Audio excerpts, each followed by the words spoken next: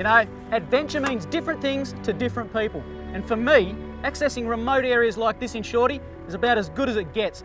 But places such as this are slowly being locked up to us four-wheel drivers through conservation and mining. And here, on Curtis Island, we've got a bit of both. But we've been given special permission to access almost the entire island, and I cannot wait to try and photograph this place whilst it's in its natural environment like it is right now. I've got a feeling this trip could be one of the best I've ever done.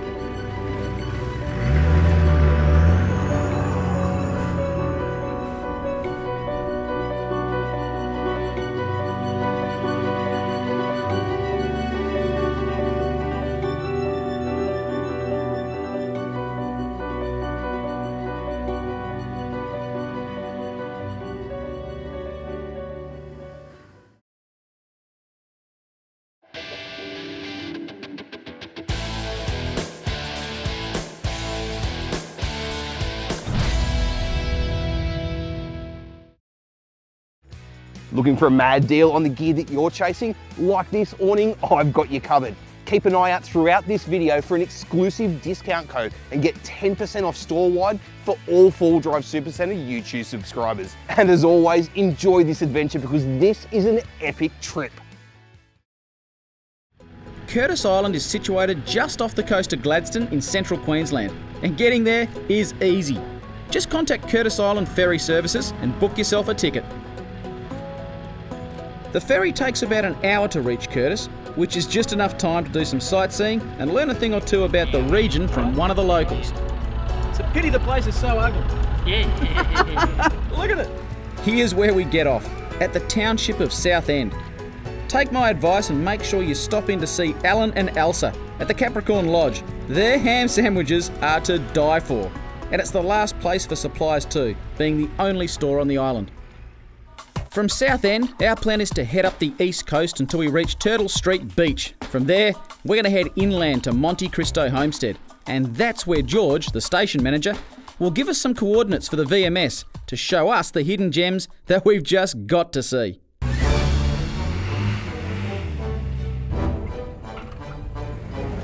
Lads, this is it. We're on Curtis Island. Hey Jamie, that boat of yours, mate, there's already been a couple of low branches. How do you reckon you're going to go? I reckon it's going to be probably a really tight squeeze this trip because, um, you know, these tracks don't seem to be well driven. Yeah, for sure, mate. Look, I mimic both of you two in the sense that I've just got no idea what to expect. But this, not knowing where I'm going, never been here before, absolute adventure of it, this is what personifies four-wheel driving for me. I get so passionate about it. I'm with you on that one, mate. It's all about the adventure, isn't it? And the scenery is already absolutely spectacular, eh? Absolutely brilliant. Just out of Southend Township, and we're onto the sand. These tracks weave their way in and out of the dunes just behind the beach. It's a great drive, but be aware. There's a few very big dunes that have some super soft sand, as I'm about to find out. Hey lads, I might just get you to hang up there because there's a doozy of a steep section coming up here.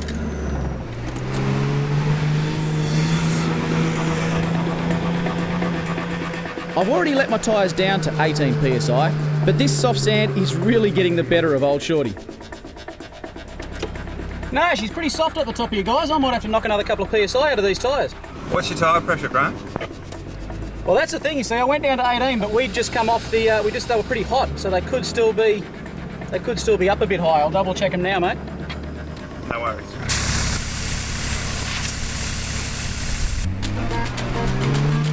Time to have another go. Give it the berries, Graham. And look at the difference. Hey, good work, mate. You ate it for breakfast. Really is a classic example, isn't it, lads, about tyre pressures? Absolutely. Oh, for sure, definitely. You've uh, you just proved that. Righto, guys, I've made it to the top. Come on up. No worries.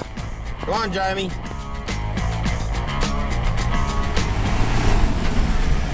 Jamie's turn. Look at the big defender go. Even with all that extra weight, it's up and over. Great drive, Jamie. Oh, good work, mate. Good work.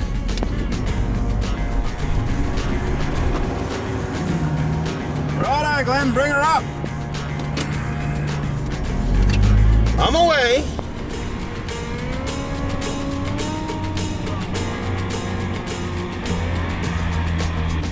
This should be a walk in the park for Glenno.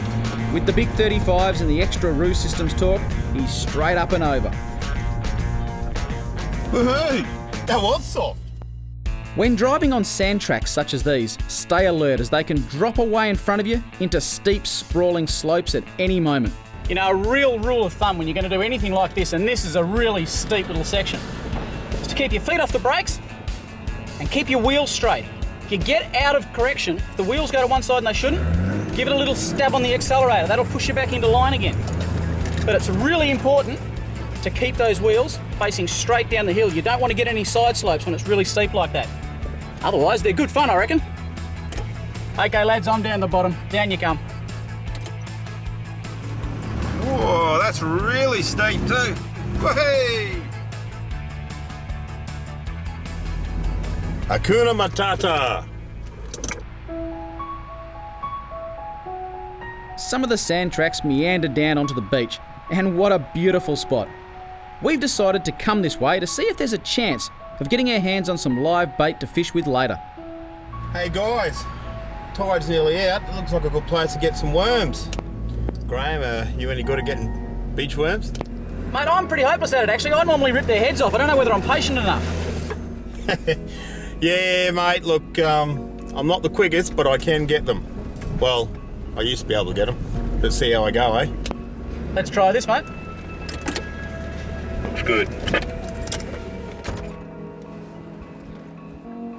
Well, it's absolutely no secret that I love my fishing. Out here, you can't beat collecting your own bait. And these waters and this sand are home to beach worms, and that's one of the best baits you're going to find. Now, I'm not much chop at catching them. Don't think I've got the patience. I always break them when I try and pull them out of the sand. However, Gleno lives in Noosa. He's been doing this his whole life. Let's go and ask him just how this is done. Even before Jamie's prepared some mullet head to tempt the worms with, Gleno's already got a point on the scoreboard, and it's a beauty. boy. Mate, I, I don't know the technique here. I, I, they come up, I grab them by the head and they shoot back down again. What's the secret? Mate, well, an old fisherman at Fraser Island taught me many years ago Yeah. Is you just hold the bait out in front Yes. and they they arch up. Yes. And when they arch up, you just slowly squeeze in on them. Yes. And you can, you know, squeeze on them for a good 30 seconds, even a minute if you want, but don't jolt. Just keep that pressure on them and you'll arch up again and you squeeze in and you just, as he's arching, you pull him out. It seems you have to be extremely patient, and it's harder than you think to actually grab one. Even Gleno the Worm Master is finding it difficult. So what chance have I got? Oh, he's quick!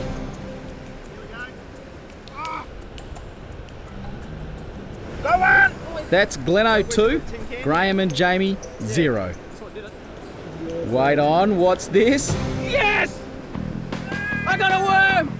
That's not a worm, that's a snake! Yeah, brother! Well done, mate. I got a worm! good Zach. Now, we have the worm. Now we need the fish.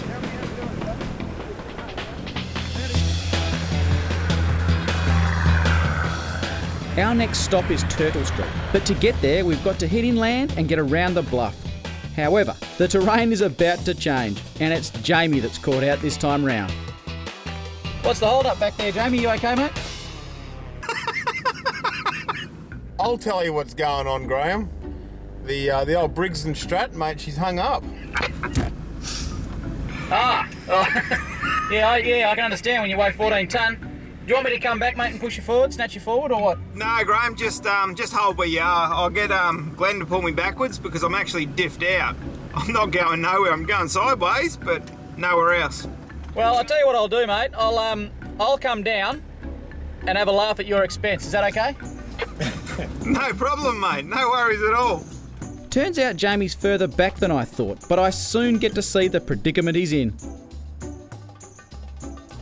I'm going to call the council in. Put the bitumen down. Yeah, it could do with a bit of a clean up. A bit rough.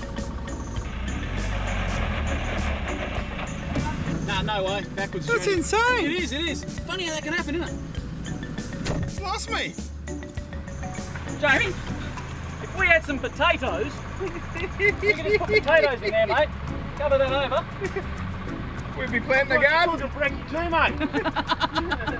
Hey, Gleno, Grab that winch, mate. Thanks, bud. Now, the erosion you see here is caused by rainwater along the tracks. Sometimes the erosion gullies crisscross the track in all directions and it can be really difficult to pick the right line if you're not concentrating. Isn't that right, Jamie? Sorry, buddy. That means I'm getting dinner made and brekkie made for the rest of the trip. Just that left-hand mudguard on Jamie's truck there. Bent in a little bit when he's tried to reverse up this bank. We'll just come and bend that back out again. It's all aluminium anyway, isn't it? The mudguard! Oh, he's not happy. He's not happy at all.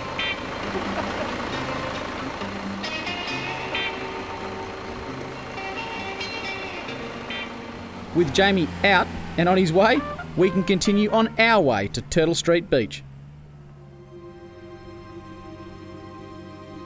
From Southend, Turtle Street is approximately a 15 kilometre drive, but what a breathtaking drive it is. As the track winds its way back out towards the coast, we're presented with beautiful, uninterrupted views of the Coral Sea. Hey, I don't know who put this track in, but I reckon they like the view. They have a whole heap of room over to the west to put a track, and look where they put it, right on the edge of the cliff. I think they built it for us. Spot on place to have a track, bud. Because I mean, what what views? They're views you could die for. Even if you did fall over the cliff. I was going to say, almost literally, you want to keep your eye on the road, do you? One more push over this headland, and we're pretty much there.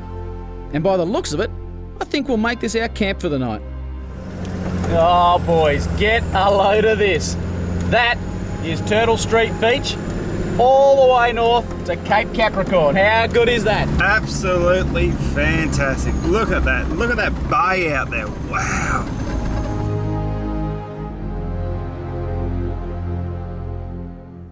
You used to be able to drive right up to Cape Capricorn, which I imagine would be one of the best four wheel drive trips on the east coast. But now, National Parks has put a stop to that and closed it off to us four wheel drivers. The track up there now is degraded, become overgrown, and almost disappeared, as with many of the tracks that have been locked up by parks. You can, however, make it up there by other forms of transport, and seeing as I'm keen to photograph the unique landscapes up there, I reckon I might have to call in a favour from an old mate.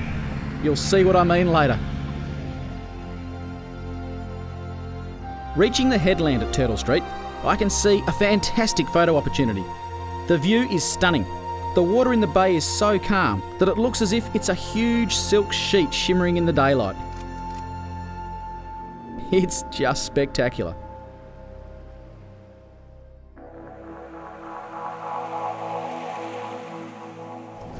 Hey lads, I have a feeling that there is Turtle Street Beach. It's going to be a brilliant little campground, that's for sure for us. Mate, I reckon I could stay here for a week. A week? God, I could stay here for a month. Time is slipping away, and we're going to make Turtle Street our camp for the night. There is a designated camping area just at the back of the beach, but you do have to book in and get your camping permit sorted with Parks and Wildlife before you arrive. I've got to say, this is a truly spectacular place to camp, and the weather is just about perfect. I've got a bit of advice for you if you're coming to Curtis Island. Make sure that you're packing some insect repellent because the sandflies and mozzies will sometimes try to spoil your stay. Once we've set up camp, we're going to head down to the creek at the end of the beach with Jamie's crab pots. We're Gonna catch a honker. Should be, should be good. I reckon it'll be massive crab. This little mangrove creek is teeming with life and it seems the perfect place to get some big fat mud crabs. We've got four pots, so we're going to spread them out near the mangroves and leave them in overnight. Now, all we've got to hope for tomorrow is a low enough tide to be able to get across there and get them back out again. But according to the tide gauge, we should be perfect just after breakfast tomorrow morning. Boys hungry? Mate, what are you making us? What am I, if I told you what I was making, you might not eat it, mate. No, I'm making a stir fry. Yeah, that's alright. Making a stir fry. You know, Jamie is so well equipped for camping, and his landy is no exception either. It's a good thing too, seeing as fires are not permitted up here. Ah. Anyway, I'm going to treat the boys to another type of inferno with a spicy beef stir fry. Extra chili, big fella? Mate, go for it. Yeah. Tastes good. Back a bit on there. Now, I did say Inferno, didn't I? All we've got to do now is sit back and have a sneak peek of the latest four wheel drive action DVD, courtesy of Jamie's Movie Theatre. Good on you, mate. Hey, look at this bloke. You've had a haircut. I have a savage haircut, mate. Get more for less at 4 Wheel Drive Supacentre with incredible deals on Adventure Kings camping and outdoor gear. Take your camping experience to the next level with the amazing Grand Tourer Mark III aluminium rooftop tent, the rooftop tent that practically sets itself up. King's portable gazebos are built ultra strong with a tough steel frame, are easy to set up even by yourself and are available in multiple sizes for the campsite or the job site. The incredible new 270 degree freestanding awning can be set up in just 40 seconds and wraps around the side and the back of your car for incredible amounts of shelter. Hit the water on a King's inflatable stand-up paddleboard for an insane amount of fun at the beach, the river or the dam. But warning, it's highly addictive. Plus there's fridges, solar panels and more to make every adventure incredible. At Fall Drive Supacentre, you get more for less.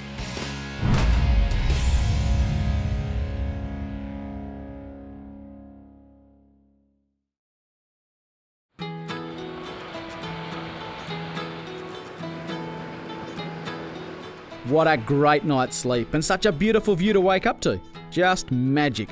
The plan for this morning is to head to Monte Cristo Homestead to meet with George, the manager. But not before we've had breakfast and more importantly, checked those crab pots we put in overnight. Here we go. Fingers crossed.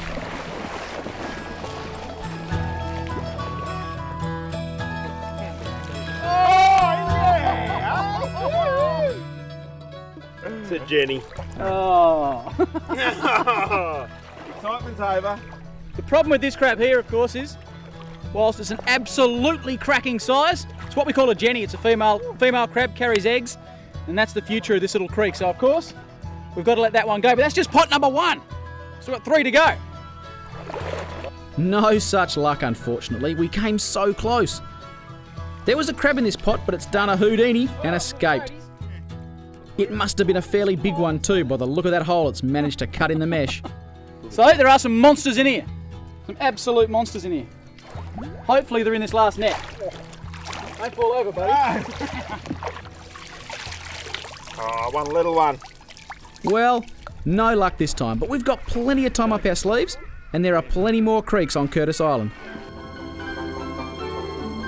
It's time to say goodbye to Turtle Street because we're heading inland and onto private property, Monte Cristo Station.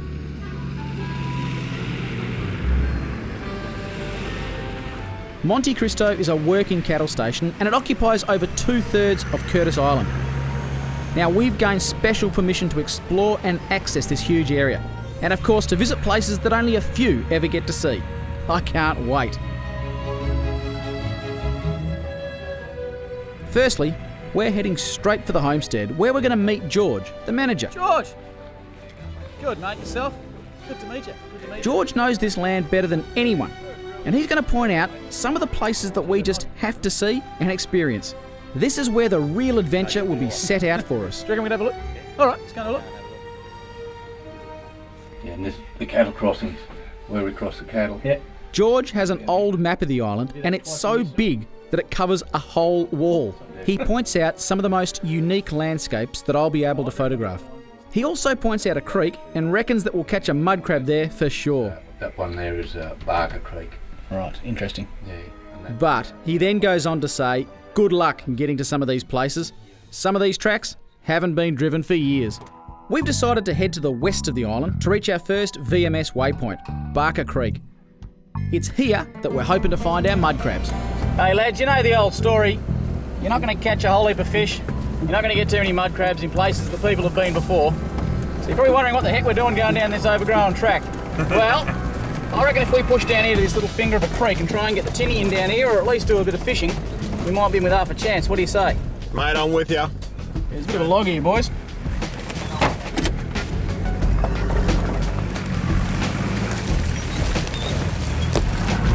Just watch it, he flicks up on you too. flicks up, all right.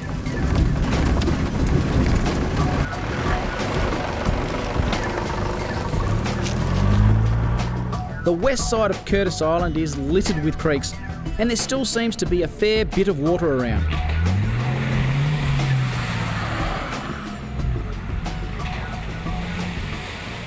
Water is great for photography, and I just can't resist this opportunity. The boys and I were just driving along the track here directly behind me when I noticed this beautiful little lake. Now, the black colour of the water is actually caused from the tannins that come down from these trees here. The trees being white are contrasting beautifully on this black surface, and the surface itself it's almost like a mirror. Now, when I see things like this out here, I just can't help but grabbing the old camera and trying to capture it.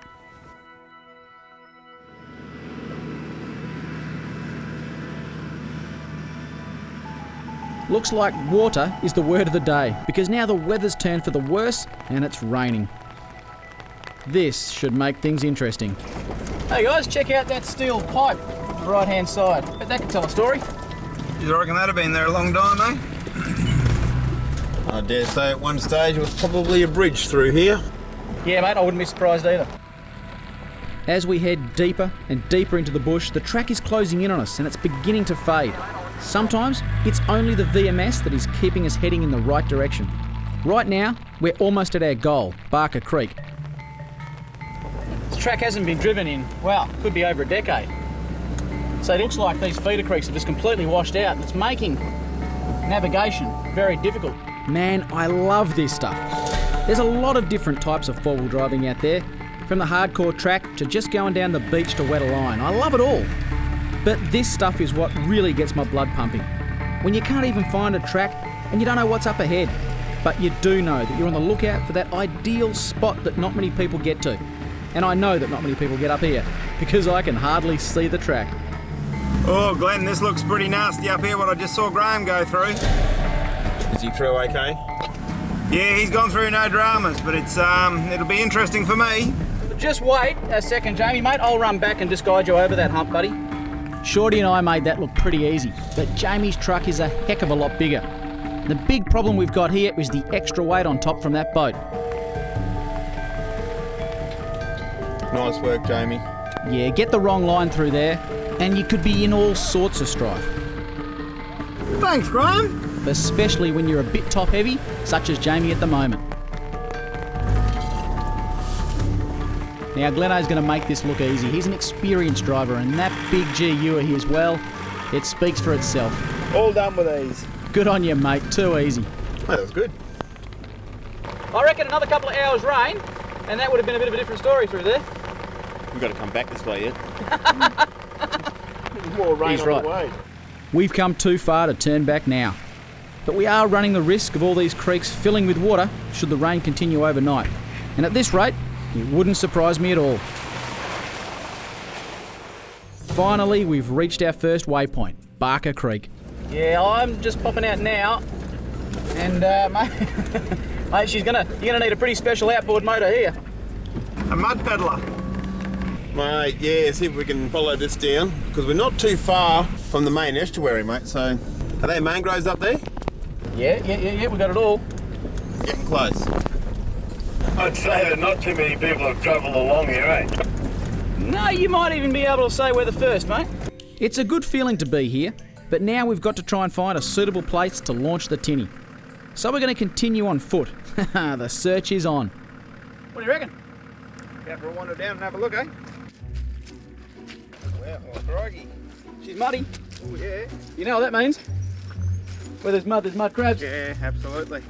We've got to get that boat in first. You can carry that down, can't you? Yeah, no worries, I'll just put it on my back. Yeah, yeah, yeah. Well, we have found water at least, but it's not the best place to launch the tinny. So we're going to jump back in the four wheel drives and look further along for a better spot. But not before I've captured some of these wonderful mangrove structures. The search continues, and we're back on the hunt for better access to the creek. The trouble is, where there's water, there's thick mangroves. I know that we're not likely to find a boat ramp around here anytime soon, but there's got to be a gap where we can get Jamie's truck and boat at least fairly close to the water. And I think I've found just the place. Hey, hey, hey, this looks like a perfect spot, lads. We can get the boat down there, can we? All right, how about we get some pots in the water, boys? This looks promising. Woohoo! How good is this? We've finally got down to the river's edge. You know, having the boat can be a little bit cumbersome at times, but when you get to spots like this, where no one else has been, this is as good as it gets. Jamie's boat loader is worth its weight in gold here. Within minutes, we're into the creek. Armed with the crab pots, it's time to set them overnight again. Well, that's if we can get the boat off the bottom of the creek.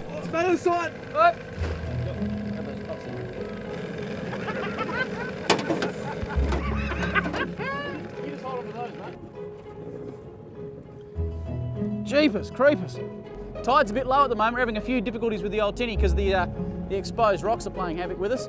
But this water just screams mud crabs. We've put two pots in already. We've got two to go. What do you reckon, Jamie? Just up in here? Yeah, I think so. Here we go. Well, that's all four pots in. Now it's just a waiting game. While we're out in the boat, it just makes sense to wet a line. But with the outgoing tide, we decide to give that up before we end up marooned out here. On our arrival back to the trucks, we realise we're already in a bit of a sticky situation. well, as you can see, tide's gone out on us as we were out there putting those crab pots in. There's no way we're going to carry that boat up here. Well, everyone thinks the winch on the front of your truck is just to pull you out of a bog, but there are so many uses for a winch. From falling trees on the track, getting them out of the way, getting firewood back to camp. Heck, I've got a mate that uses it as a long lead with his dogs when he goes camping. The moment though, I'm going to give Jamie a hand, try and pull that boat up here so that we can lift it up on these rocks. We're all just going to sink down there if we try and do that. Stay where you are, mate. Yeah, I'm not going far. All right, let's get that winch in there. In.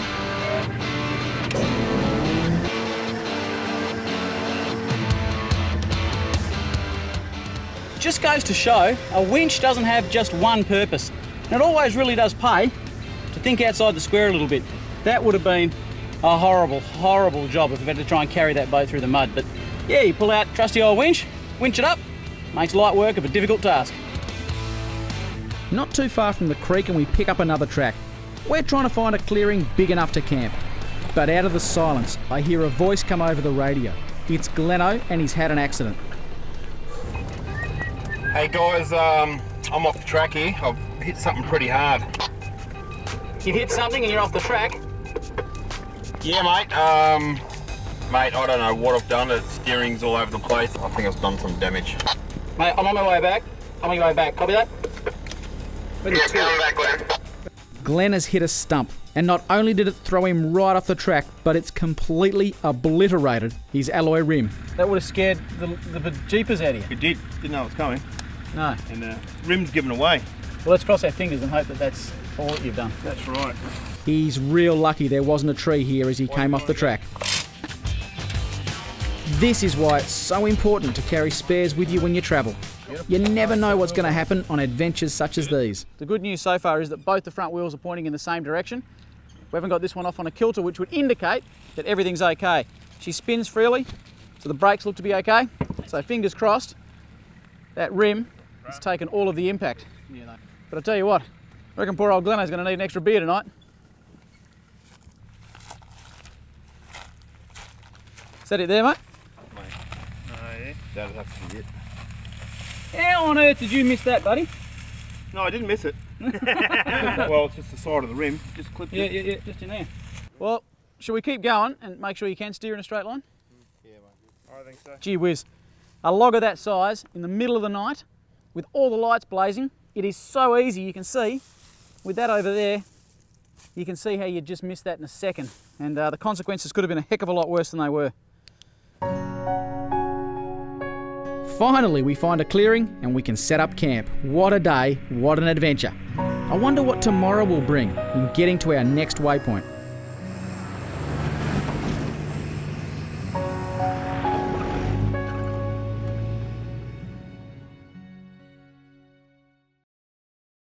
Get more for less at 4 Wheel Drive Supacentre with insane deals on King's DIY storage and 12 volt gear to build your dream 4 wheel drive.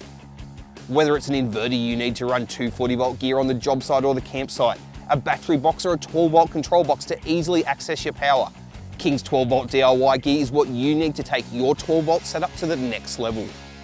Need a battery? Kings has you covered with a full range of AGM, slimline and lithium batteries in sizes ranging from 98 amp hour to 200 amp hour.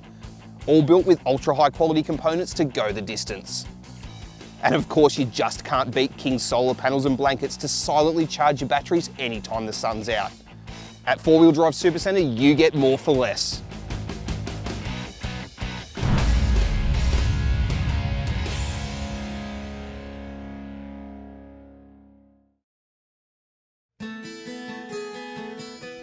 Bright and early, we're back at the creek to collect Jamie's crab pots. The pots oh. further up the creek haven't brought us what we were hoping for, but it's not over. There's one more to check. Hey! Hey, that's a good size. Yeah, that's a buck too. Great, we've got what we came here for. It's only the one, but it's better than zero. We're on course now to reach our next VMS waypoint, the Marine Plains. This is one of the natural wonders of Curtis Island, and I can't wait to see it. To get there, we've got to cross back over to the other side of Curtis and then head north to the base of Cape Capricorn. Hey guys, we're popping out onto a, uh, looks like a little feeder creek here. It looks like we have to go directly across it. Oh wow, there's a bit of water there. Looks a bit tight for me too with that boat on top. Once again, we find ourselves on an overgrown track that has not seen any traffic at all for at least five years. Didn't look too bad there, Graham, eh? The exit of this creek crossing is very overgrown, but I was hoping this bush would just brush aside. Turns out, I was wrong. You shouldn't have spoken. Why did you speak? Hang on. He just sunk down. Just give me a second here, guys. I'm just, uh, I'm going to have to engage a bit of a diff lock here. Um, try again, eh? You want me to come and spot you? No, I should be right, mate. I don't want you, you don't have to get wet just yet. I'll give it another crack, eh? By changing my line and heading further to my right, I'm able to get some traction, but it also means I'm right up against that small shrub. I think a log just grabbed your front flare too. I think that's Lee took his worries there. Just lost the rear flare as well. Nicely done, mate. Nicely done. Yeah, I'll have a look at. I'll assess the damage, mate.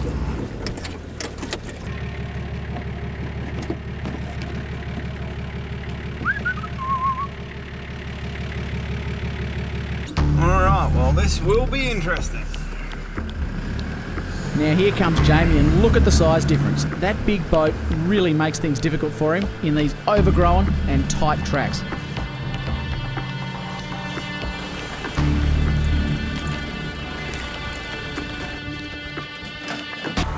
He's on a weird, wild angle there. Am I good? You're in all sorts of problems there. Am I? It's really sicky on that side. I'll just put a front locker in there and I'll just Yeah. drive out of there. You should do because it gets better just on this side. Alright. Nice one. Well driven, mate. That was beautiful. Good drive, mate. Really well done. The big GU of Gleno sits somewhere between Shorty and Jamie's truck. I reckon he's going to have no problems now that we've cleared all the muck out of the way for him. Use the front locker there just to help it pull up that bank.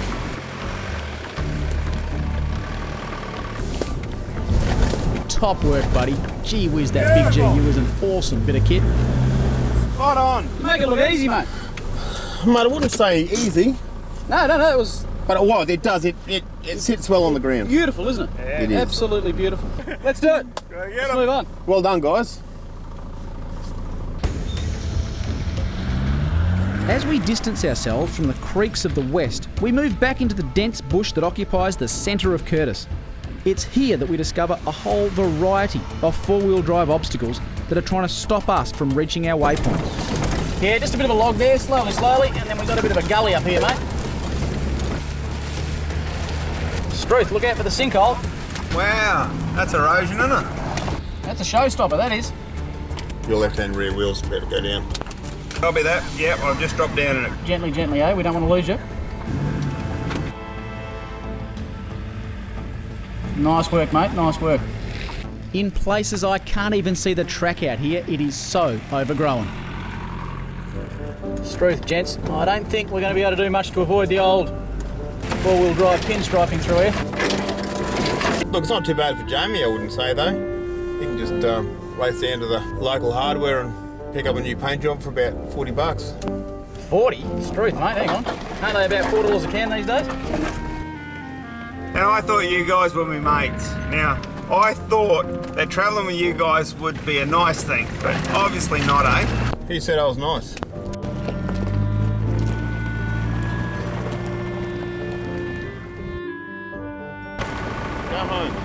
Plywood? You can just pick it up and put it on top, mate, you know that. With a bit of persistence, we pass through relatively unscathed. We've reached the east coast once more, and we're right on lunchtime. What a great place to stop for a bite to eat, and on the menu, here's mud crab. I'm thinking, boys, we head down the beach, we clean it up, bring it up here and get it on the boil, and then crab sandwiches. Nothing better. Spot on. There could be something better, mate, and that's if you get your coffee machine out. Ah, yeah. Make us a cup of coffee. I'll agree with that. Mud crab can be a little bit fiddly to prepare. First of all, you've got to clean the crab. Then you break it up into the individual parts and place it into a large pot of boiling salted water. Okay, we give that five minutes, let it cool down. Beautiful. To go with the crab, I'm going to make a very simple seafood sauce, and there's no rocket science here. It's just a little bit of mayonnaise in some tomato sauce and stir like crazy. If you've got ice, place the crab on ice so that it chills down instantly. We don't have that, but we do have plenty of cool fresh water, and that's just as good. How good is that? That is going to be absolutely sensational. I hate to think what you'd pay for that in one of those fancy five-star restaurants down in the Big Smoke, but for us, it's completely free. It's going to get the meat out of there, put it in a sandwich, get the boys to come over and enjoy it. This will be superb. Delicious fresh crab sandwiches and a coffee from Barista Haddon. Nothing better to recharge the batteries.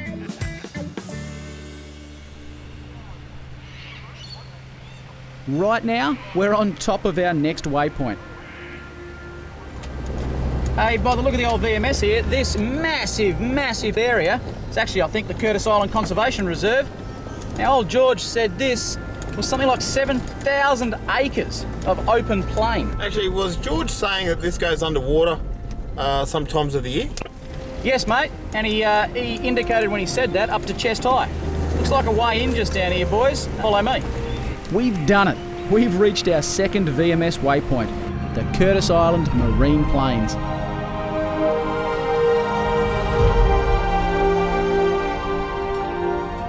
The Marine Plain is a beautiful 4,700 hectare wetland that attracts large flocks of migrating waterfowl and diverse tropical bird life. What a wonderful opportunity to see such an amazing landscape that is of international significance. Hey, I don't know if either of you two blokes have been over to WA yet, but um, there's a little place over there called Broome. It's on the coast. If you're coming from the south, you've got to go over a thing called the Roebuck Plains. And I swear, this could be a mirror image of the Roebuck Plains over in Broome, Kimberley, WA. Yeah, I know exactly what you're saying. I've been over there, I know the place.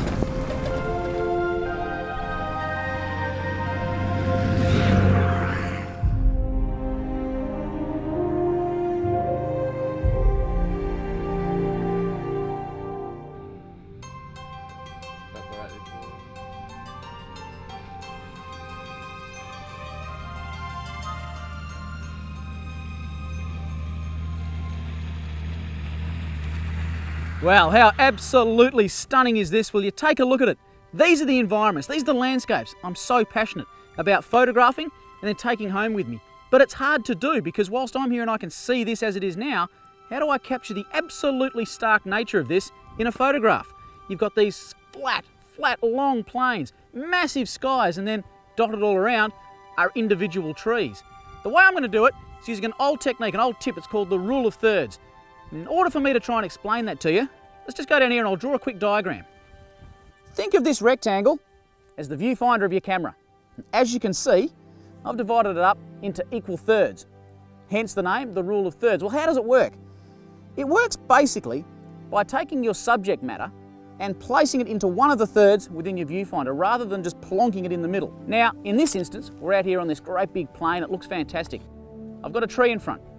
I'm going to place the tree into the right hand third, just so it's got a bit of space on either side of it. Have a look at that horizon out there. Great big sky, the grass, it looks great. And I want to try and emphasise that.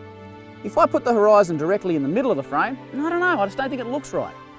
Put it down on the bottom third, however, with all that expansive sky, and it shows the emptiness, the vastness of the landscape that I'm seeing here at the moment. So the rule of thirds, that's basically how it works. Want to ever practice at home? See what you think. I reckon you're going to find it's going to add a real bit of bounce, a bit of pop to your photos. Our time on Curtis is coming to an end, and I've got one more waypoint to reach. You see, I'm really keen to photograph Cape Capricorn, and I know you're not able to drive there. So the next waypoint is a place where I'm meeting someone who can help.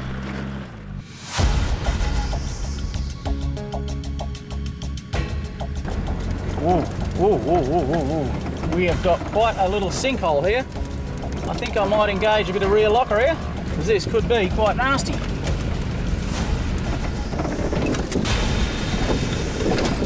To say the least. On hitting that bog hole, I really didn't realise just how deep it was going to be. You know, one of the things about being the first vehicle on a track is that you have to tackle the tough sections without any information. Don't know if you saw that, Glenn, but geez, he nearly went over. You've really got to know your truck on these angles. I know where Shorty is right now, fingers crossed. I can take it just that little bit further. It actually looks a heck of a lot worse than it is. And I knew I wasn't in too much danger, other than when I started to come up the far bank using on. the front locker to claw my way out. It was about then that I thought I could go over if I'm not careful here. Yeah, I don't think I'll. Uh, I don't think I'll crawl out of this without nasty ramifications. Actually, just a spot might be all I need, just to let me know if I can actually come forward. I think your left-hand rear is going to come up, so Yeah, mate, that's what it feels like to me too. But um, yeah, just just if you could have a look for us, that'd be good. go, go. Oh, that feels better. Couple, couple hundred kilos on the back. Jump on the front, mate. But with Jamie on the side, I had no trouble at all and drove straight out. Beautiful. Woohoo! Not a worry. That's. That's a fair size hole you got there. Yeah, I found I found an earth nostril. It's one of those bloody holes. You can't see the bottom. No, You- you no, don't- You don't no. know what's down there. So I just thought edge into it and see what happens. And I know she wasn't going to go over frontwards, but coming up that way was a little, just ever so slightly iffy.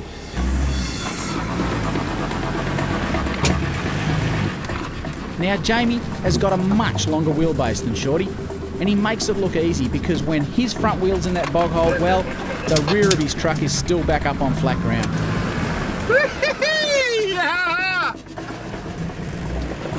What are you doing over here? Sorry, Yeah, fellas. back the Go track, over mate. there. Sorry, fellas.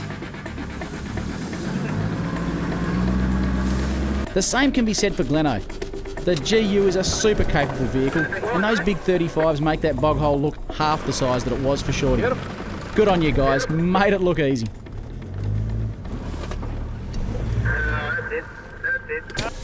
Thanks, mate. Gotta love it. Nice call. No worries.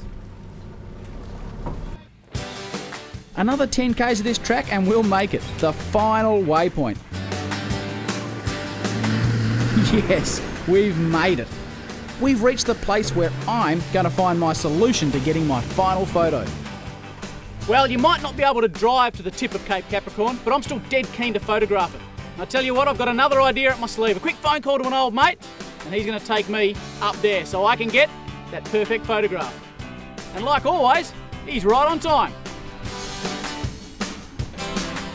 Yep, I'm going to be flying there. Geez, I'm excited about this. I love my photography in just about any form, but when you get the chance to go up in an aeroplane and shoot something that not a lot of people get to see, well, doesn't that just add to the excitement? I'm so grateful that my old friend here has come to my assistance by meeting me at this airstrip. He knows just the spot I want to reach because he's seen it all before. This machine is like a car to him, he goes everywhere in it. Well, it's time to saddle up and get ready for takeoff.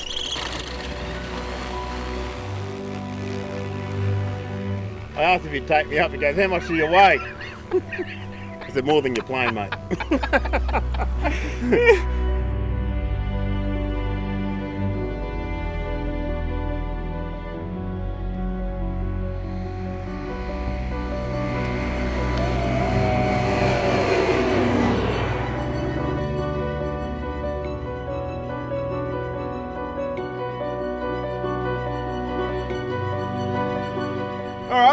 we might as well go and have a fish, eh? Yeah, leave that for fun. We better get dinner. Sounds good. Sounds good. As the airstrip disappears from view, it's not long before we're right over the top of the marine plain, and boy, it looks awesome from up here. I can now see the sheer size, and I can see that we only scratched the surface from the ground. Next stop, Yellow Patch. This is a part of the Curtis landscape that I simply couldn't miss. Yellow Patch is an amazing 20 story sand blow on the top side of Cape Capricorn that grows steeply up from the waters below. Yellow Patch stays true to its name as it glows a bright yellow, lighting up the underside of the plane. What a magnificent sight! While we're in the air, I get to capture a bit more of Curtis Island's fascinating scenery. And to finish up, we saw straight over the top of the lighthouse at the tip of Cape Capricorn. What a privilege!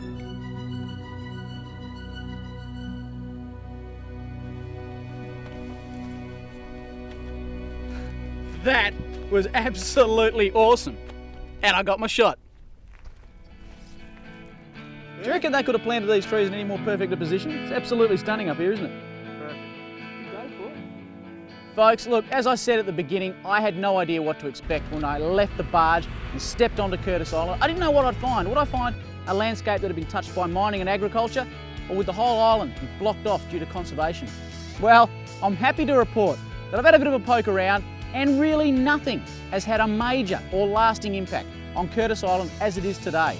Sure, to the north there's a lot of conservation, but you can still get up to Yellow Patch, take your boat up there and camp in one of the most spectacular campsites I've ever seen. Of course, I did see it from the air.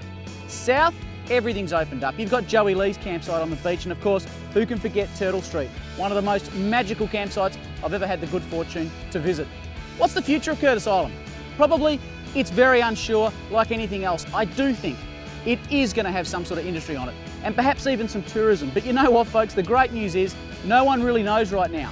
And that means that you and I can still come here and enjoy this spectacular spot. Maybe I'll see you here, maybe I won't. But one thing I am certain about, I'll see you next time on Four Wheel Drive Action.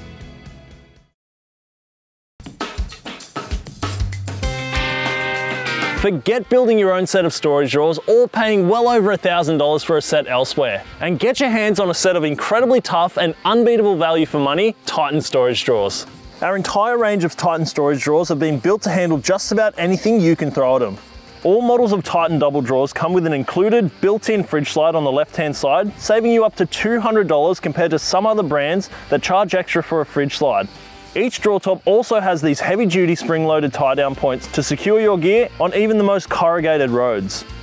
We've put them through their paces like none other. We've jumped on them, overloaded them with bricks, chucked an engine on the drawers at full extension, absolutely flooded them and used them off-road year after year to prove just how tough they are. The Titan 900 single drawer is perfect for those who have limited space to install a storage drawer.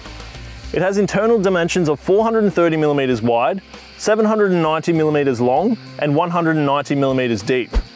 The Titan 900 double drawer setup is ideal for smaller wagons like Prados, Pajeros, and SUVs, with the internal dimensions identical to the 900 single drawer on each side. The Titan 1300 ute drawers are made specifically for vans and utes. The internal dimensions are 1200 millimeters long, 430 millimeters wide, and 150 millimeters high. The 1300mm single drawers are also a cracking addition to the back of vans and utes. The internal dimensions are the same as the double 1300 drawers, but have an extra 40mm of depth, making them 190mm deep. And finally, for the bigger wagons like Land Cruisers and Patrols, the double 1070 storage drawers have internal dimensions of 880mm long, 470mm wide, and 180mm of depth. They come 95% pre-assembled and all you need to install them is a couple of basic hand tools and a couple of hours on a lazy Sunday Arvo. You can also add optional wing kits, both model specific and DIY. So you can finish off the back of your four-wheel drive and have plenty of storage available for your next adventure. Take your setup to the next level with the incredibly tough and unbeatable value for money Titan storage drawers.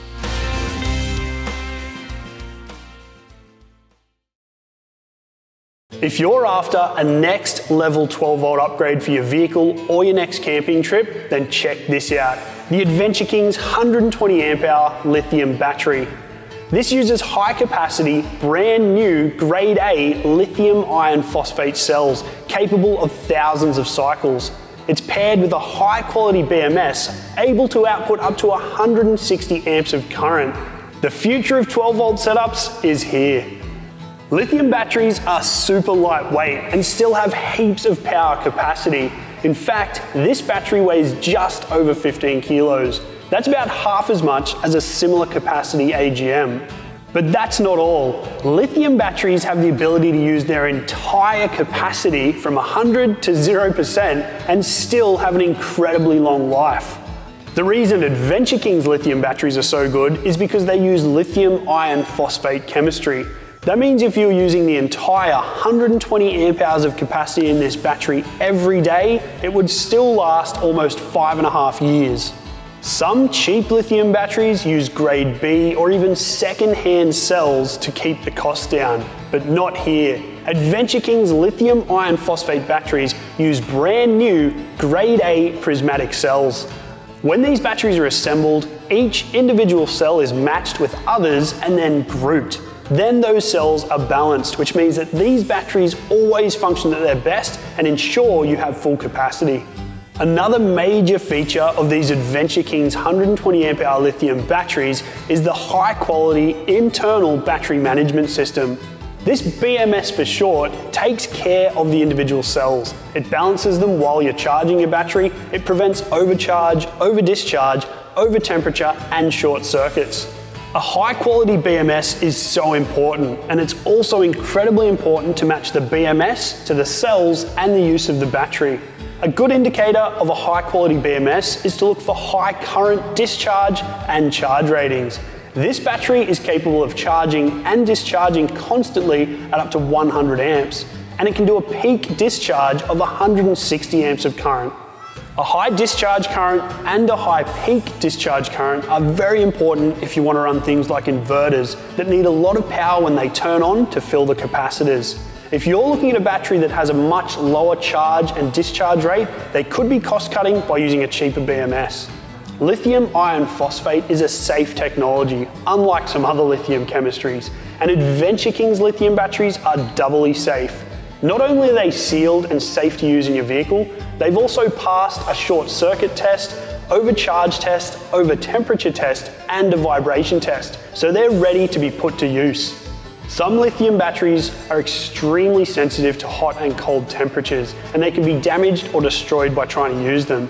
Adventure Kings batteries though can be charged anywhere from 0 to 50 degrees Celsius and used or discharged anywhere from negative 20 right through to plus 60 degrees Celsius.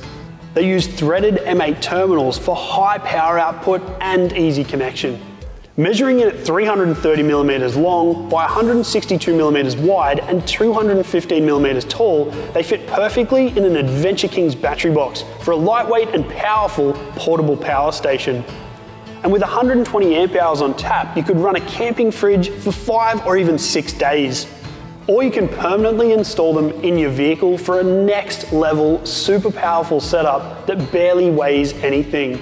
And for that reason, they're perfect for your four-wheel drive, motorhome, caravan, or camper trailer, where you need to be concerned about GVM and GCM limits. So if you want a safe, lightweight, super powerful, and super long lasting lithium battery for your next level setup, you can't beat an Adventure Kings 120 amp hour lithium battery.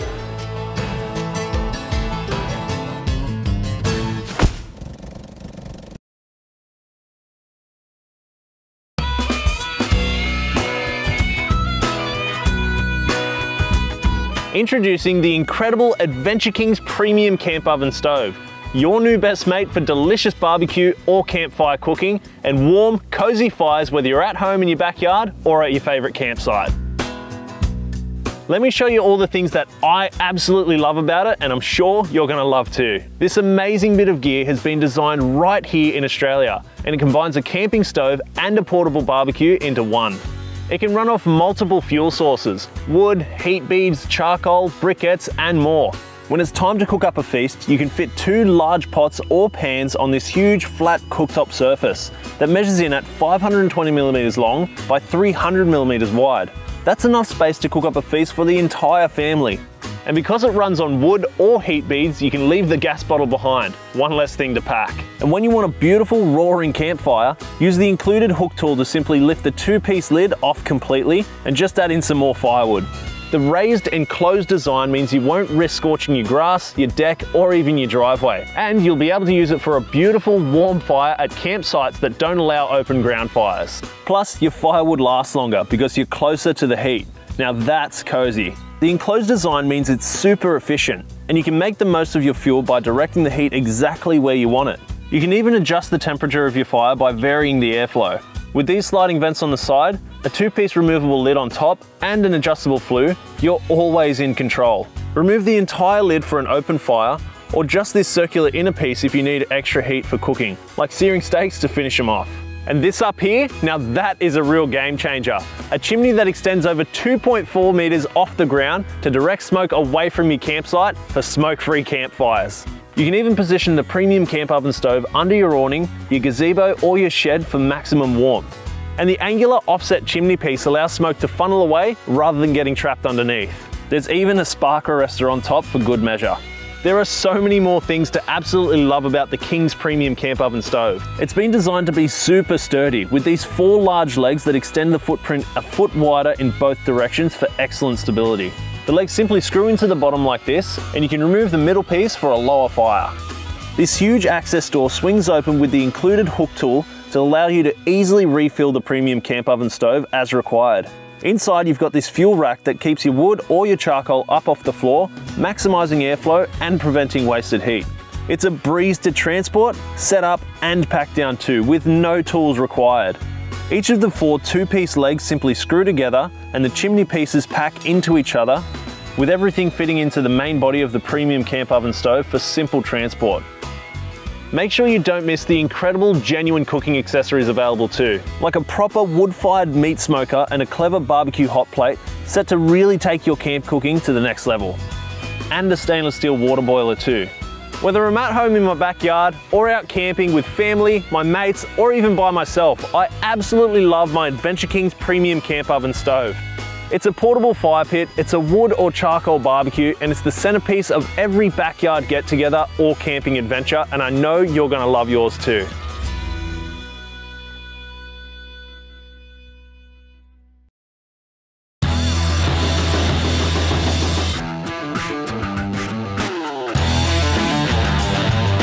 Introducing the insane new Adventure Kings 9-inch lethal LED driving lights. These things have an amazing combination of both spot and flood light.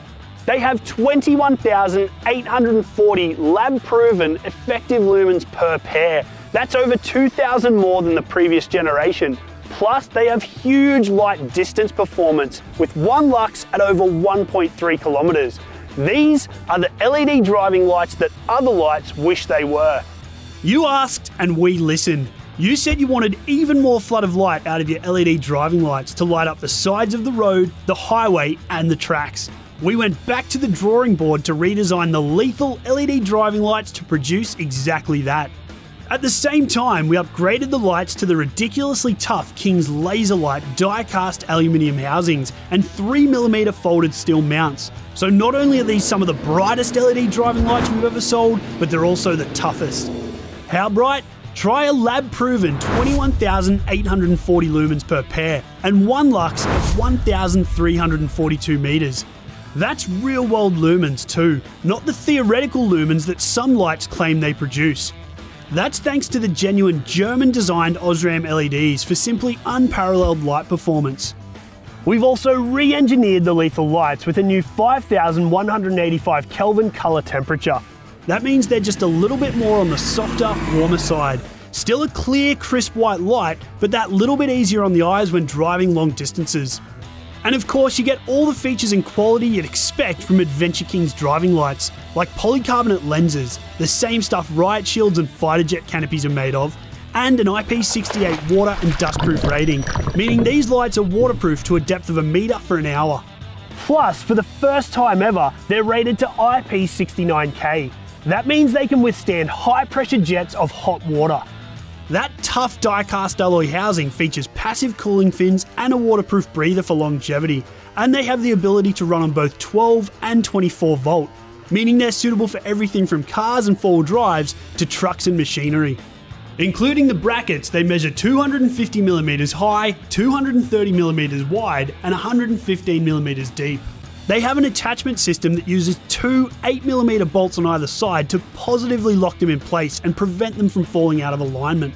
And of course, they use the same plug as all previous Adventure Kings lights, which makes them an easy 10 minute upgrade. Just unplug your old lights, bolt the new ones on, plug them in, and you're ready to go. Add in a two year warranty, and you've got a simply incredible set of lights that leave the competition looking a little underwhelming. The Adventure Kings 9 inch lethal LED driving lights are the best value LED driving lights on the market. We've re engineered them to be incredibly tough and incredibly bright. They'll turn night into day, and they're on sale right now for a price you have to see to believe.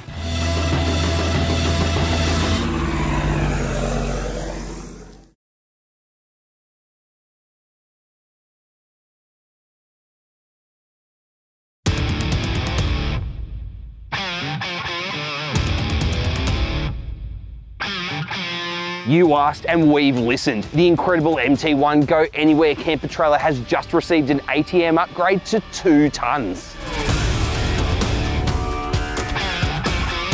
All new Adventure Kings MT1 camper trailers will now come with the new upgraded two ton ATM. But don't worry if you already own an MT1, because a retrofit upgrade kit is available too. The MT1 is already an ultra tough trailer with a one piece 150 by 50 mil chassis that extends right from the drawbar all the way to the back of the trailer. Now it's even tougher with upgraded suspension, bearings, brakes and wheels to bring it up to a two ton ATM. The brakes are upgraded from 10 inch to 12 inch electric brakes. The alloy rims are now rated to two ton ATM and an upgraded set of suspension arms also suit the upgraded ATM. And for existing owners, the retrofit upgrade is incredibly easy to do at home yourself. Everything just bolts onto the trailer with no modifications needed. That extra payload capacity means that you've got more ability than ever before to carry the gear that you need and still remain legal. For more information and full detailed specs on the MT1, see the 4-Wheel Drive Supacentre website. Now with a 2-ton ATM upgrade, the Adventure Kings MT1 Go Anywhere camper trailer can carry more gear than ever before.